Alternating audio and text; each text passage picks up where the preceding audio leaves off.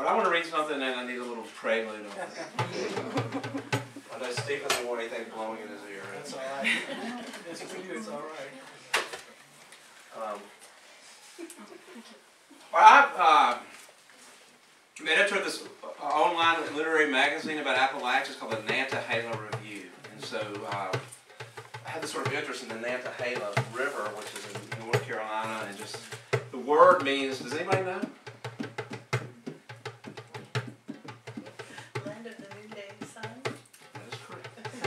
So just around here where the sun only shines like between 11 a.m. and 1 p.m. around where the mountains are so high up and everything. Um, and so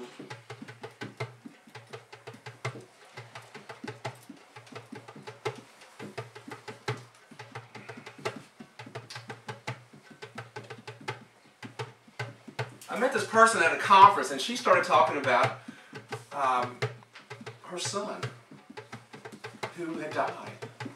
And then she, she was a singer, and they had uh, written this song about her son, and it was called Nantahala.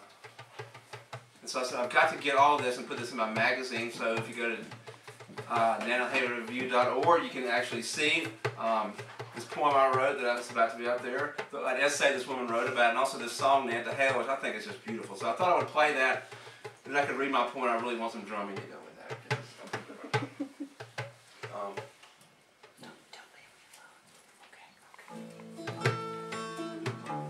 alone. Kathy Reed is the name of the woman who wrote this song. And she was in Atlanta. She was like a master's degree in English. She's like a country singer.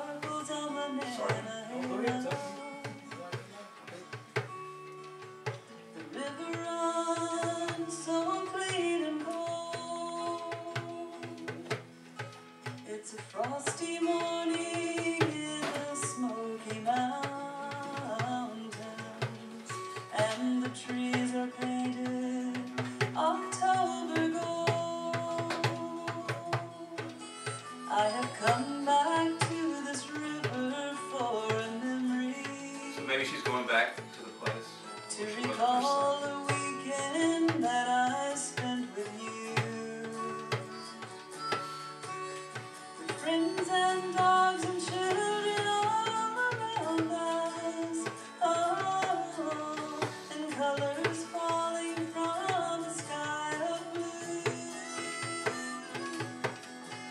And the current takes the leaves downriver.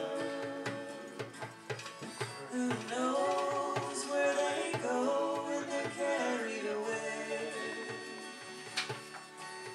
The river may be here forever, oh, but we are only passing through today.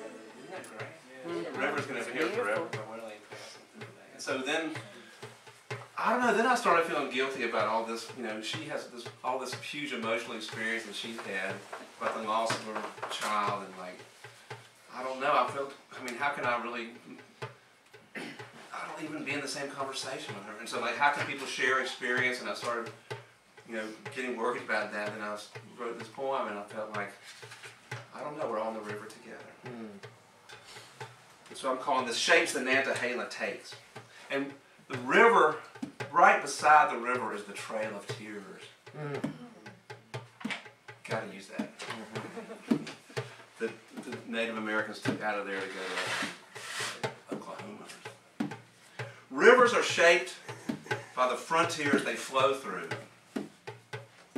Sounding the Nantahala, you sing its current northward, seeking stillness.